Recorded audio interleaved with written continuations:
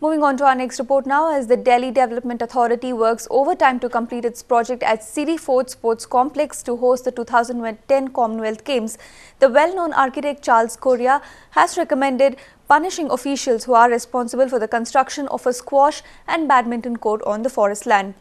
Now, in his special report to the Special Forest Bench of the Supreme Court, Correa has said that the uh, location was already rejected two years ago and that the Delhi Development Authority had ample time to relocate. Here's the report. Correa's report is in response to an earlier court direction asking him to inspect the site. The order came on a petition by Sirifort Residents Welfare Association that challenged the ongoing construction as it led to felling of more than 800 trees. He has suggested restructuring of the eagle-shaped stadium and has also urged the court to order its relocation if the DDA did not accept his advice.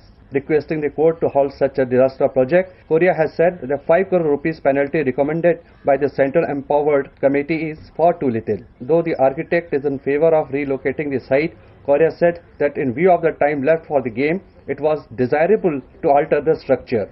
He suggested changes in the eagle-shaped building as the present design encroaches upon the greenland and claim that the underground parking lot was not required. Referring to the DDA's drawings, Correa said that the authority required only 5.75 acre land for the construction, but the DDA has X trees in an area of no less than 27.70 acres. Correa also requested the court to find ways to prevent commercial exploitation of the project after the game is over. Correa has also sought immediate reforestation of the 15 acre of land upon which DDA has encroached. With cameraman Surendra Rokka, this is Firoz Shani at Delhi for Real Estate Television.